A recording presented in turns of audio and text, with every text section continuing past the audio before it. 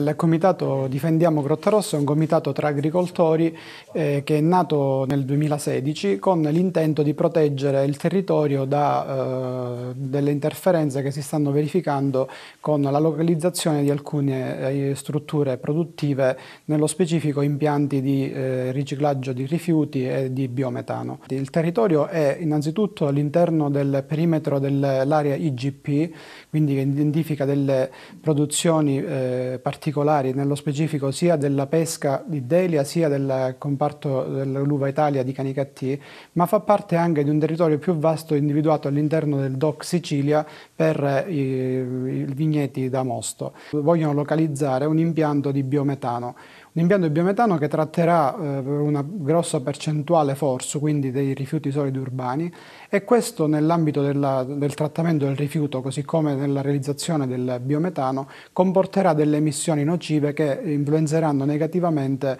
il territorio sottostante. Quindi oggi noi siamo qui eh, chiedendo un intervento eh, e il, la solidarietà anche da parte di tutti gli altri concittadini affinché il Comitato Difendiamo Grotta Rossa sia in grado di poter contrastare evitare l'ingerenza di questo eh, nuovo impianto. I dati dello Svimez raccontano un'Italia a due velocità. I giovani vanno via e si perde la vocazione produttiva del nostro territorio.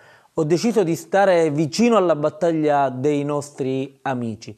Per questo il primo settembre con una tenda e con acqua al seguito vorrò occupare simbolicamente quelle terre insieme agli agricoltori.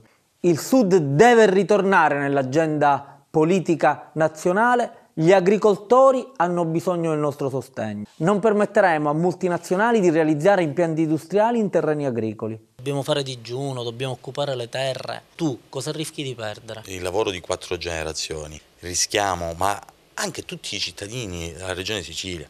Perché quando noi andiamo a inquinare il mare, perché il mare? Perché lì vicino passa l'affluente del fiume Salso, che è il vallone paradiso dell'Elagiglio.